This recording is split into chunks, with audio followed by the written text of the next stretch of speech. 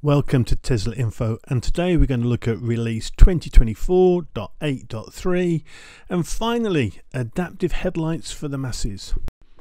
If we take a quick look at the release notes themselves, well first of all it's just minor fixes which you seem to get all the time and then we have adaptive headlights. Now these have been out on the Highland Model Y certainly in Europe for a while but now they're available to other cars including the Model Y and earlier Model 3s. If your car has the earlier headlights, which look a little bit like this, unfortunately your car won't be able to have this feature. And what you're looking for is like a golf ball in the outer edge. Um, you can see it there. It's not particularly clear, but it's a round, almost like ball shaped thing. There's a slightly different view, which is much clearer. And that's what you need to be eligible.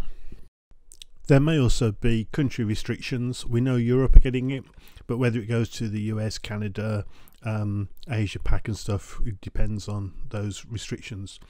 Um, another aspect that's uh, been brought in is a one-time charge limit. Pretty much does what is it says. Um, and then some other options which have actually been seen in early releases. In particular, the reminder to plug in at home that made a fleeting appearance in 24.2 then it seemed to disappear from most people's well it's been included again in the 2024.8 release